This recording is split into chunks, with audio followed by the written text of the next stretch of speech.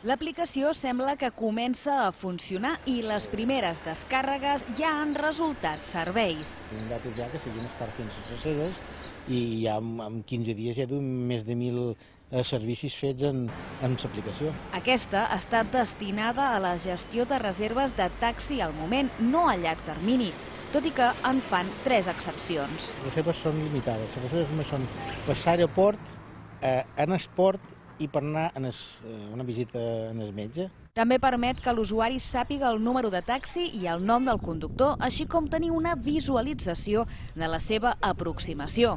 El taxista li facilita arribar a destinació, sobretot en zones rurals. Està molt bé perquè localitza on està el client amb aquell telèfon, evidentment, i eh, li ajuda a fer recorrido fins a trobar el client. Això va molt bé, pues, recorridos més eh, llunyans de la ciutat, perquè allí no hi ha carrers, no està tan quadriculat, evidentment, pues, com a la ciutat o els casos urbans.